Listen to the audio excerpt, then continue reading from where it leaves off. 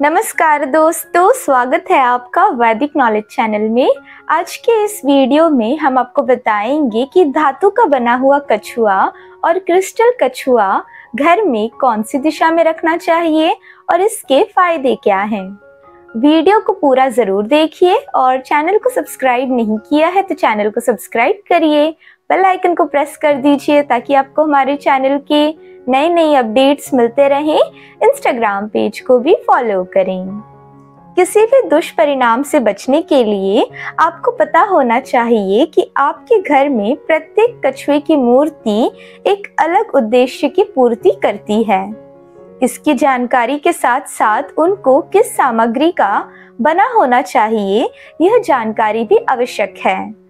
तभी आपको इसके सारे शुभ फल की प्राप्ति होगी।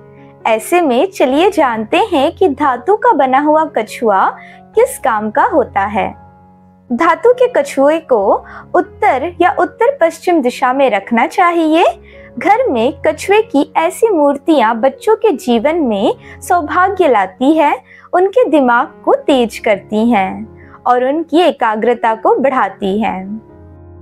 चलिए जानते हैं कि क्रिस्टल कछुए को किस दिशा में रखना चाहिए और इसके फ़ायदे क्या हैं। क्रिस्टल या कांच से बना हुआ कछुए की मूर्ति को दक्षिण पश्चिम या उत्तर पश्चिम दिशाओं में रखा जा सकता है। ऐसी मूर्तियाँ सौभाग्य, धन एवं समृद्धि को बढ़ावा देती हैं। आपको एक क्रिस्टल कछुआ घर या कार्यालय में पूर्व या उत्तर दिशा का सामना करते हुए रखना चाहिए। इससे आपके सौभाग्य में बढ़ोतरी होती है।